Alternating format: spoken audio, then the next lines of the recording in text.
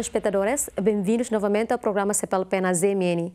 Como já sabemos, este programa tem como objetivo apresentar-vos as últimas informações ocorridas na comunidade dos países de língua portuguesa. Iniciamos com a primeira informação. O número de casos ativos da Covid-19 em Timor-Leste caiu pelo segundo dia consecutivo. O número de recuperados ultrapassou o de novas infecções com o SARS-CoV-2.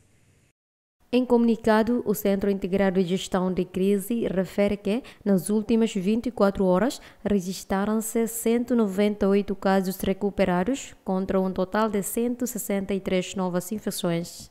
Destes, 4,9% casos apresentam sintomas da Covid-19.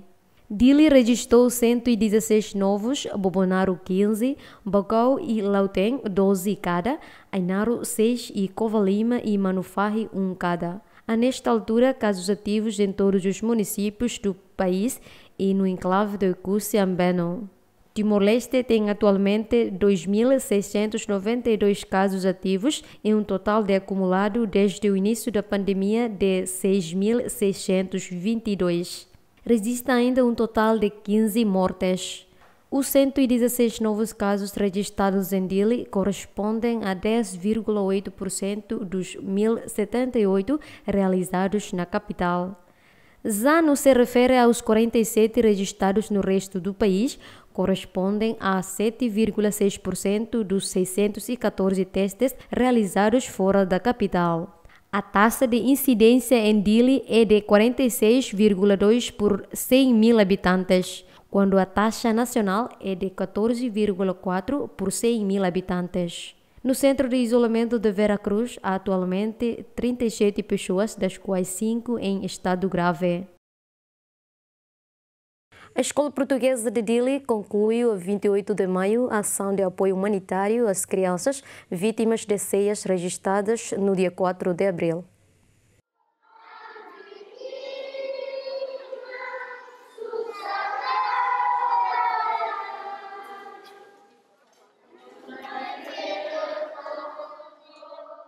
Escola Portuguesa de Dili, juntamente com o apoio de várias entidades, disponibilizou refeições diárias a crianças de várias idades. Desde o dia 6 de abril, a Escola Portuguesa de Dili tem recebido diariamente mais de 100 crianças dos bairros de Balidi, Caicoli, Mascarinhas e do um centro de evacuação em Balidi. Durante um período de quase dois meses, foram servidas mais de 5 mil refeições a crianças identificadas pelas irmãs canocianas de Balidi. A Escola Portuguesa de Dili contratou diariamente um autocarro para levar as crianças ao estabelecimento em Balidi a fim de serem servidas. Estiveram presentes no dia de encerramento da ação humanitária o embaixador de Portugal em Dili, além de vários patrocinadores.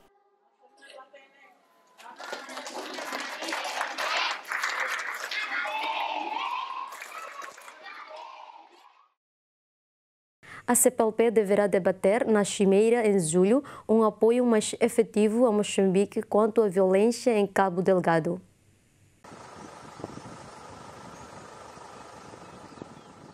O embaixador de Cabo Verde considerou que é natural que a próxima conferência da CPLP, marcada para 16 e 17 de julho em Luanda, se empenhe em procurar criar condições para que a solidariedade seja mais efetiva.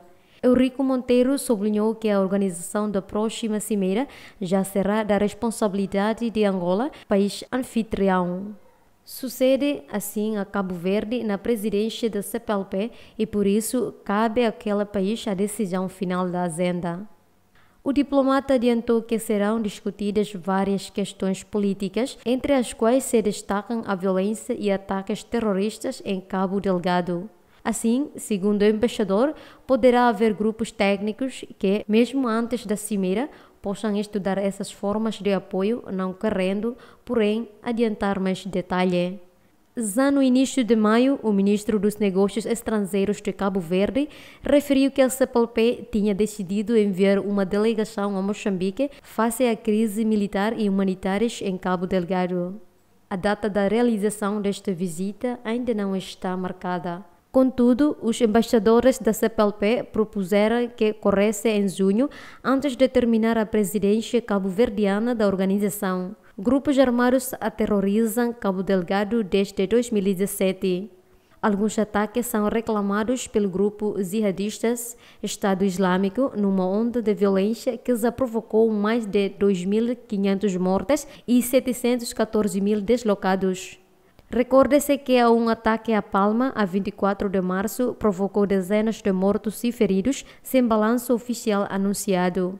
As autoridades moçambicanas anunciaram controlar a vila, mas o ataque levou a petrolífera total a abandonar o recinto do empreendimento que tinha início de produção previsto para 2024. Nela estavam ancoradas muitas das expectativas de crescimento econômico de Moçambique na próxima década.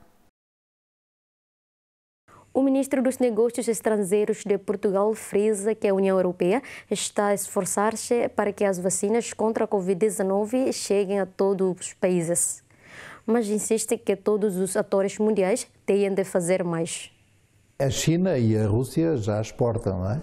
Eh, o problema principal aqui é que os Estados Unidos não exportam, embora haja agora declarações de que vão fazer doações significativas, isso é uma coisa muito boa e o Reino Unido também eh, não estava a exportar.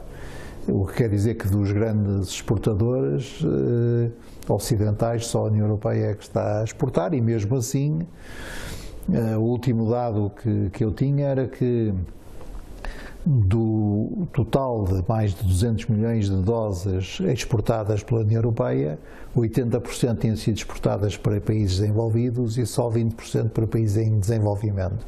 Portanto, as insuficiências são muitas e eu acho muito bem que o professor Carlos Lopes, eh, aliás, um grande africano e faço favor de ser meu amigo, faz muito bem a impressionar, como faz muito bem o secretário-geral das Nações Unidas a impressionar, o diretor-geral da OMS a impressionar, porque nós precisamos de facto de fazermos mais para que todo o mundo esteja vacinado o mais depressa possível. Isso é verdade e eu acho que, que deve ser dito às vezes que for preciso. Eu limito-me apenas a acrescentar humildemente outra verdade, que é de todos os que têm grandes responsabilidades, fazendo eventualmente ainda menos do que o que devia, a União Europeia é o que faz mais. Em Portugal, os profissionais de entregas táxis estavam abrangidos por um reforço da testagem de Covid-19 em Lisboa a partir da passada sexta-feira, enquanto nas zonas de concentração de restaurantes o programa arranca esta segunda-feira.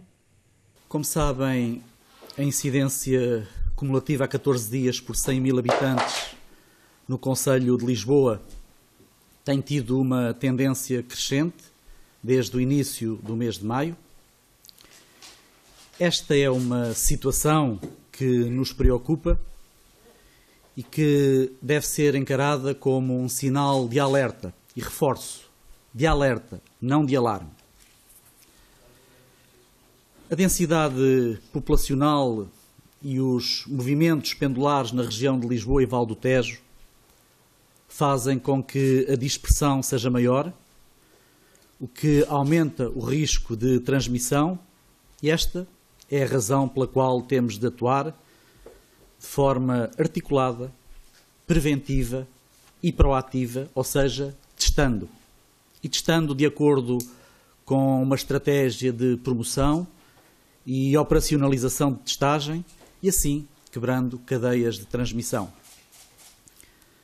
Por isso, temos de fazer um reforço nas medidas que nos permitam controlar qualquer possibilidade de evolução da situação epidemiológica.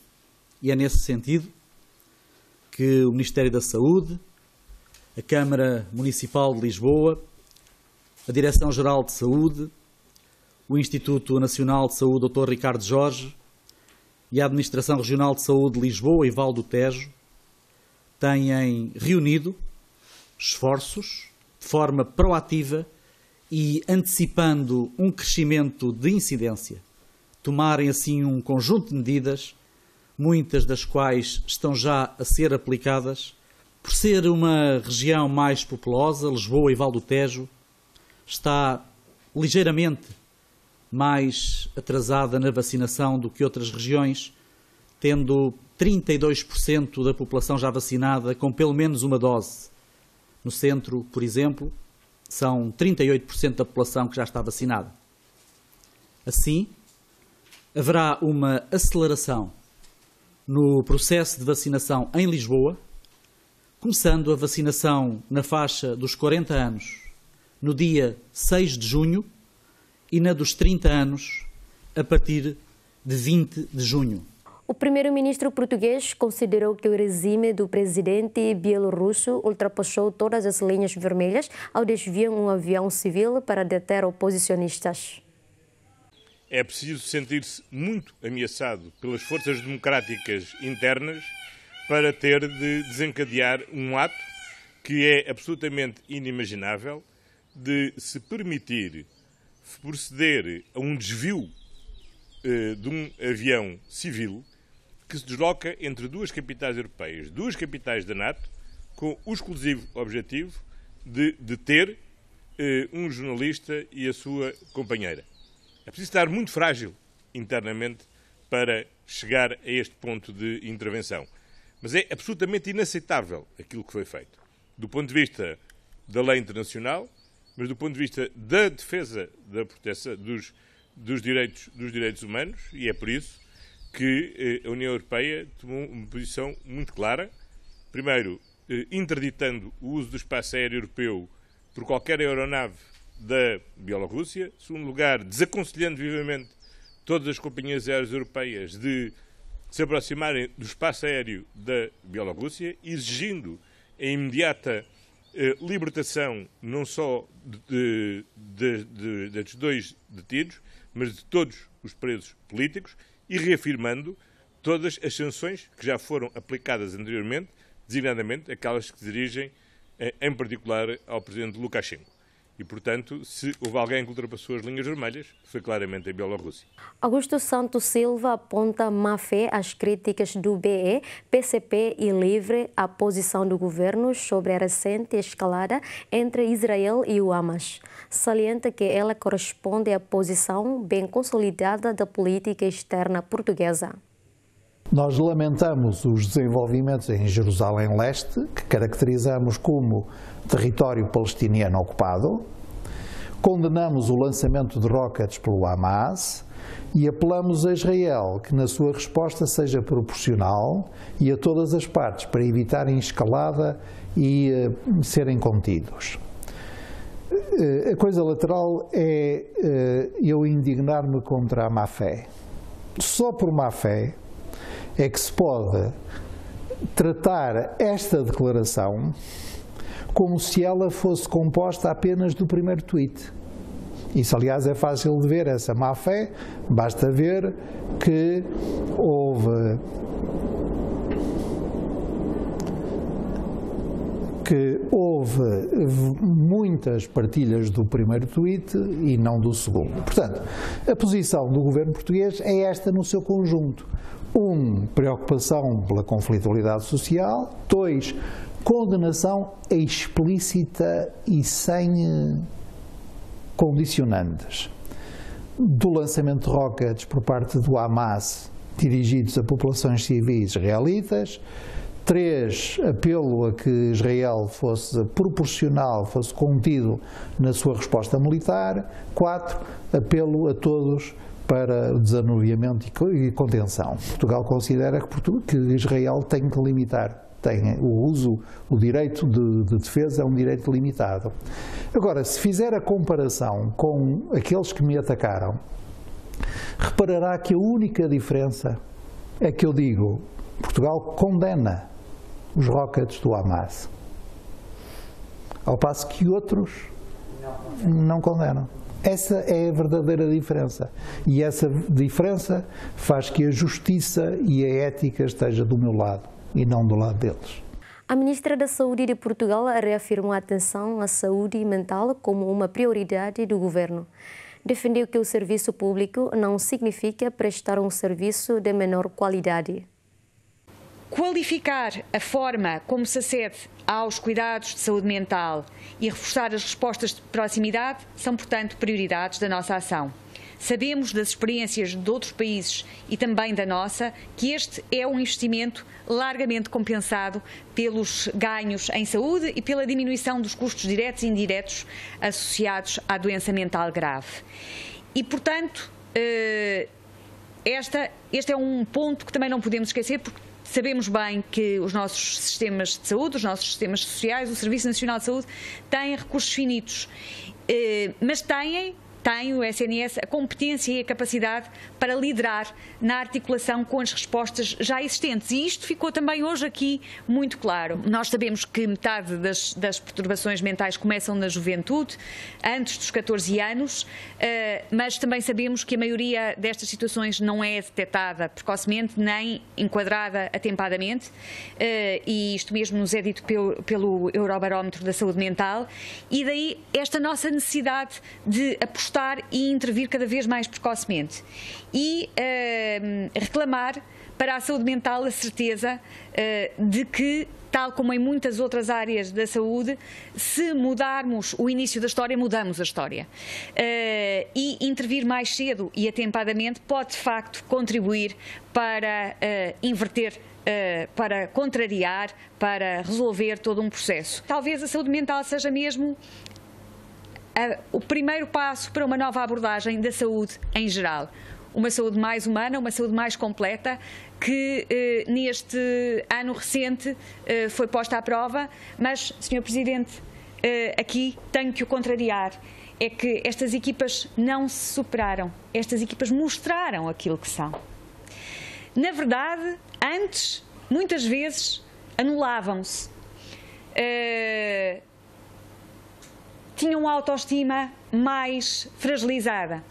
E hoje e a autoestima também acredito que seja um elemento muito importante da construção do nosso equilíbrio com aqueles que nos rodeiam, hoje estão mais saudáveis do ponto de vista uh, daquilo que é a sua missão social, daquilo que é a sua responsabilidade face aos outros, e é só essa a palavra que eu penso que vale a pena uh, sublinhar, é responsabilidade. Responsabilidade na qualidade de serviço que prestamos, na qualificação com que servimos, porque o fazer uh, serviços públicos de saúde não é uh, prestar uma, um serviço de menor qualidade, é, pelo contrário, uh, exercer a função mais nobre, sob o ponto de vista daquilo que é a nossa responsabilidade social a ministra da Saúde de Portugal manifestou preocupação com a situação epidemiológica da Covid-19 em Lisboa.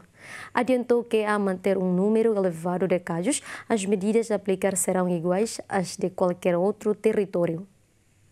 Lisboa tem hoje, penso que o boletim epidemiológico foi libertado há momentos, uh, tem hoje, uh, tinha ontem, uh, penso que uma incidência de 153 casos por 100 mil habitantes. É, portanto, uma daquelas situações que eh, nos preocupa, eh, mas que eh, tem uma, um, um, quadro que é muito distinto daquele que enfrentámos já no passado. E como sabem, um conselho que tem 120 casos por 100 mil habitantes entra em alerta quando repete esse valor, permanece em alerta. Portanto, eh, vamos todos trabalhar para que esses números não sejam atingidos garantindo que eh, as medidas que são aplicáveis num território são aplicáveis pelos mesmos critérios num qualquer outro território. Temos hoje eh, os eh, adultos mais jovens entre os 20 e os 29 anos como os principais alvos dos novos casos de infecção por eh, SARS-CoV-2.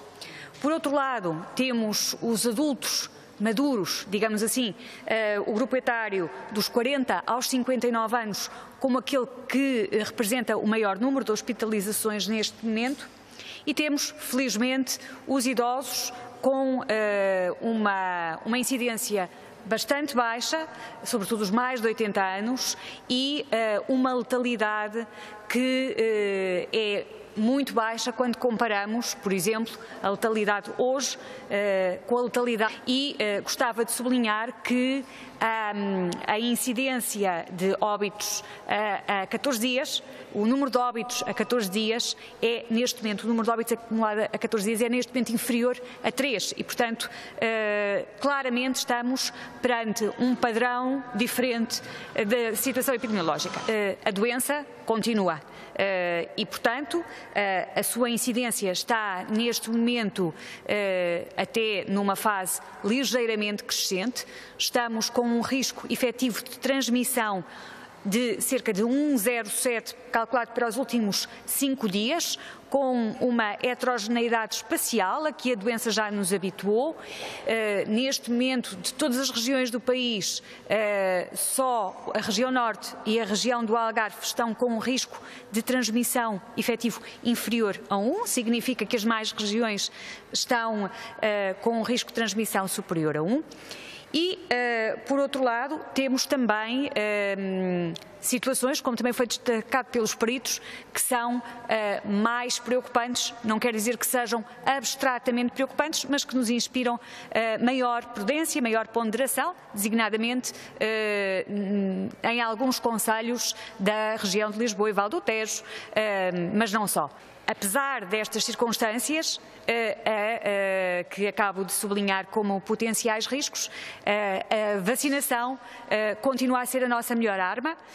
Ela, o, seu processo continua a correr de uma forma que acreditamos que seja muito favorável e que nos levará a cumprir o nosso objetivo de ter a população adulta vacinada até 70% da população adulta vacinada até ao final do verão. Estamos numa fase de transição, numa fase de transição entre um momento em que só tínhamos por nós a questão das medidas não farmacológicas, eh, portanto, as máscaras, as nossas máscaras, as nossas lavagens de mãos, o nosso distanciamento físico, os confinamentos eh, que tivemos que utilizar, para um momento em que temos eh, a expectativa de ter uma imunidade pela vacinação, mas um, um esse é o momento futuro e no momento presente ainda estamos a tentar afirmar essa imunidade, essa vacinação mais alargada e, portanto, ainda a, a referência eh, que nos foi deixada à necessidade de manter a prudência. Em Portugal, a Cooperativa Agrícola de Folgueiras está a partilhar parte dos lucros de 2020.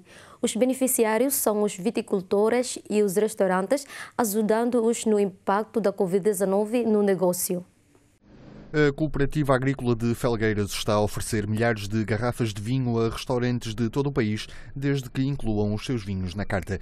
Com um excedente de produção no ano passado, a cooperativa decidiu apoiar os clientes afetados pela pandemia com uma oferta de 20% do que compraram em 2019, ou seja, pré-confinamentos. Tivemos um crescimento acentuável nas vendas de vinhos, principalmente no mercado externo, e fruto desse resultado, que foi acima das expectativas, decidimos fazer um apoio aos restaurantes que, que consomem o vinho da marca da Cooperativa de Felgueiras. E assim vamos atribuir uma bonificação de 20% do, do vinho consumido pelos restaurantes no ano 2019, não 2020, e vamos fazer uma oferta eh, aos clientes de 20% da mercadoria do vinho que consumiram da, da, das nossas marcas.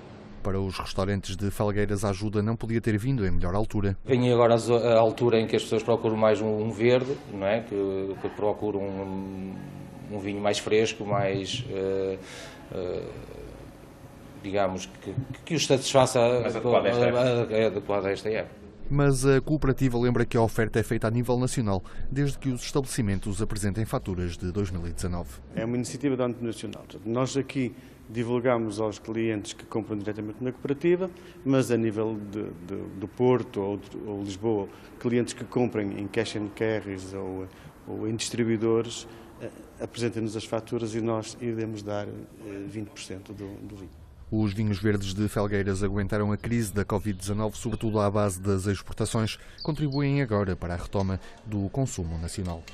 Foram as informações dadas nesta edição. Até a próxima.